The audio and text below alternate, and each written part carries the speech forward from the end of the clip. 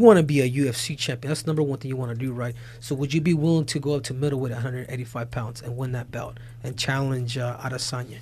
And the other question that I have is, would you be willing to challenge a number one contender like Robert Whitaker to get to Israel?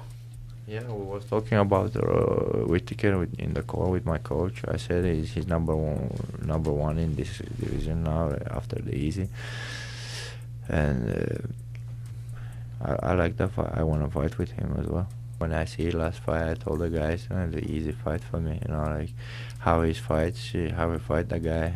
Uh, it's like for me makes comfortable when I see this fight. He gets the down and he give his back to the guy who is not wrestler, not like ground guy. You know, like never all all his fights he uh, doing on stand up.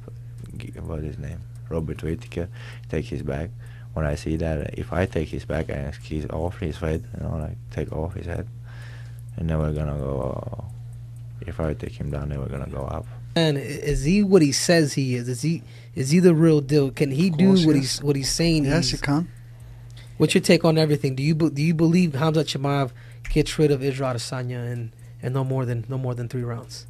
Yeah, I believe it. Yeah, and then I come in and take him out. Is he going to be the first triple champ in UFC history? The Schmo's sitting next to a double champ, but do you think he's the most likely guy to do it's it? Possible, yeah, yeah. I told you, mentality's everything.